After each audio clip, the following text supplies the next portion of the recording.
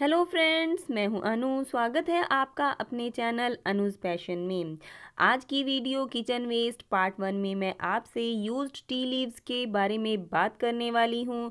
जैसा कि आप देख पा रहे हैं, यह यूज्ड चाय पत्ती है जो चाय बनाने के बाद बच जाती है और जिसे हम ऐसे ही फेंक देते हैं। यह तीन से चार दिन की इकट्ठी की हुई चाय पत्ती है। अगर आपको घर में यूज्ड चाय पत्ती नहीं मिल पाती है तो आप नज़दीक से किसी किसी भी चाय की दुकान से चाय पत्ती को ले सकते हैं, क्योंकि चाय की दुकान में शाम तक ढेर सारी चाय पत्ती निकल कर आती है और वो दुकान वाले इस चाय पत्ती को वेस्ट समझकर ऐसे ही फेंक देते हैं। इसमें आप जो ग्रीन टी और हर्बल टी बैग्स भी यूज़ कर सकते हैं।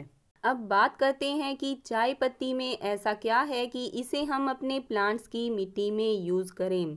इसमें एन यानी कि नाइट्रोजन फास्फोरस और पोटाशियम पाया जाता है। नाइट्रोजन चार परसेंट फास्फोरस पॉइंट पच्चीस परसेंट और पोटाशियम भी पॉइंट पच्चीस परसेंट पाया जाता है। सबसे ज़्यादा इसमें नाइट्रोजन पाया जाता है। नाइट्रोजन पौधों में नई पत्तियों को लाने में, नई शूट्स को लाने में हेल्प करता है। इससे जो नई शाखाएँ ब्रांचेज निकल कर आती हैं, वो भी हेल्दी निकल कर आती हैं। चाय पत्ती मिट्टी को एसिडिक बनाती है।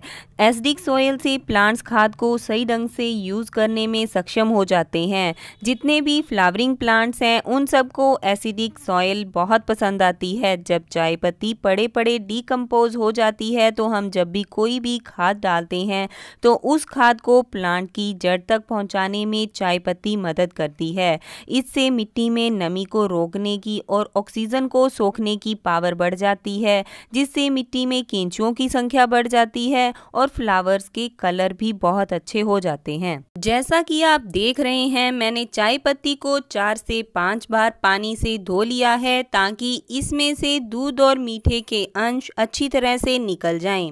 ये जो आप अदरक देख रहे हैं, वो मैंने हाथ से निकाल दी है और चाय पत्ती को धूप में सूखने के लिए रख दिया है धूप बहुत तेज़ है, जिससे दो तीन दिन में ही ये चाय पत्ती बिल्कुल ड्राई हो गई है। अब इस सूखी हुई चाय पत्ती को आप स्टोर करके रख सकते हैं। इसकी कोई एक्सपायरी डेट नहीं होती। ये देखिए मैंने इसे एक कंटेनर में भरकर रख लिया है। आप जब चाहें इसे यूज़ कर सकते हैं।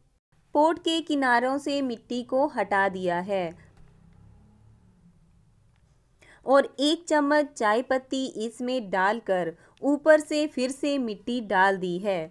क्योंकि यह चाय पत्ती डिकम्पोज नहीं हुई है, इसलिए ऐसा करने से मिट्टी में फंगस नहीं लगेगी। हम जब भी मिट्टी के ऊपर कोई खाद डालते हैं तो उसका पूरी तरह से डिकम्पोज होना ज़रूरी होता है। पर जब भी हम कोई भी ऐसी चीज़ मिट्टी में डालते हैं, जो पूरी तरह से डिकम्पोज नहीं हुई है तो यह सबसे सही तरीका है कि आप पोट के किनारों से मिट्टी को हटा दें या छोटा सा गड्ढा बनाकर उसमें उस चीज़ को डालें और ऊपर से फिर से मिट्टी से ढक दें। ऐसा करने से वो चीज़ मिट्टी में पड़े पड़े डिकम्पोज होती रहेगी और एक स्लो रिलीज़ फर्टिलाइज़र के जैसे प्लांट को पोषण देती रहेगी।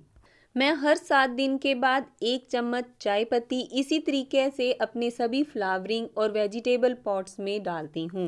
ये मेरा देसी रोज़ का प्लांट है और पूरा प्लांट कलियों से भरा हुआ है। आप भी इस फ्री के फर्टिलाइज़र को प्लांट्स में यूज़ करें और पौधों और वातावरण दोनों को ही हेल्दी बनाएँ। अगर आपको यह जानकारी अच्छी लगी हो तो प्लीज़ मेरी वीडियो को लाइक कीजिएगा क्योंकि आपके लाइक से मुझे मोटिवेशन मिलता है और इसी तरह मैं आपके लिए जानकारी से भरपूर वीडियो लाती रहूँगी। और अगर आप मेरे चैनल पर नए हैं तो प्लीज़ मेरे चैनल को सब्सक्राइब ज़रूर कीजिएगा और साथ में लगे हुए बेल आइकन बटन को ज़रूर दबाइएगा ताकि आने वाली वीडियो का नोटिफिकेशन आपको सबसे पहले मिल सके और अपने दोस्तों के साथ भी ज़रूर शेयर कीजिएगा। Thank you.